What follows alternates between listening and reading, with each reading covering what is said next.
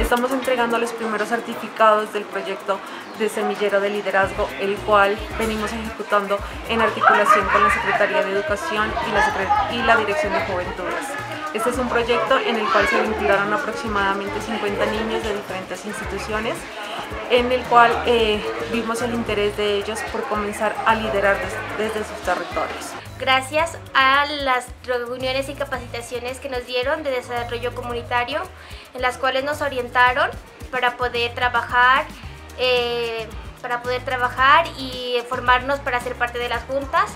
Eh, quiero progresar como líder en mi vereda eh, gestionar muchos proyectos para ver las mejorías y ver una comunidad unida. Aprendimos lo, que es, de lo que trata las juntas de acción comunal, cómo están conformadas, qué hacen. Eh, eh, nos dio una experiencia pues, para ayudar a nuestra comunidad en, en los problemas y ayudar a solucionar.